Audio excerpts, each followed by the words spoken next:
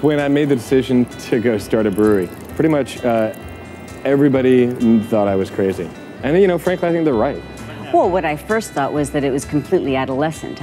But when he told me he wanted to do that, I felt that he does have the skills to make that happen. He's creative and dynamic and has the passion. So, you know, it stewed in me for a while. But eventually I came around. We had $10,000. We had a building that we couldn't afford, no equipment, and uh, nothing else. So we had to make it work uh, day by day, week by week, piece by piece. I don't really know where Matt, my Matt, found Matt Lincoln, but um, when he talked to me about Matt Lincoln for the first time, it was in glowing terms. I've always been interested in beer ever since I was, uh, you know, 18, 19 years old. Cooking was a big love of mine, so I was a chef for about 10 years. But I uh, kind of got tired of uh, working in kitchens and decided to um, make the career switch and went through the American Brewers Guild program.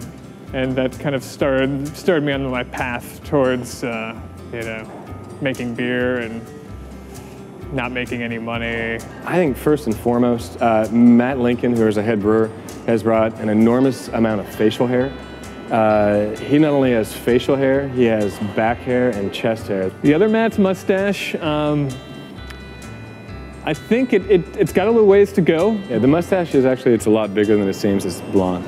It probably is bigger than it looks, but uh... I love these people. The people engaged in the microbrew industry, they like doing this. They're passionate about what they do.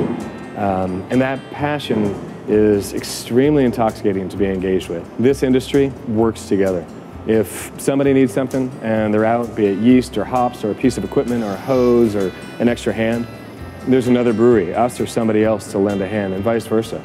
It's just, it's a wonderful thing to be a part of an industry where we're competitors, but really we help each other out and we want each other to succeed. We have been embraced by the community. As we started brewing the first batches, people kept coming by and asking Matt or whoever was around, when are we going to be able to come? So we decided to invite people into the brewery.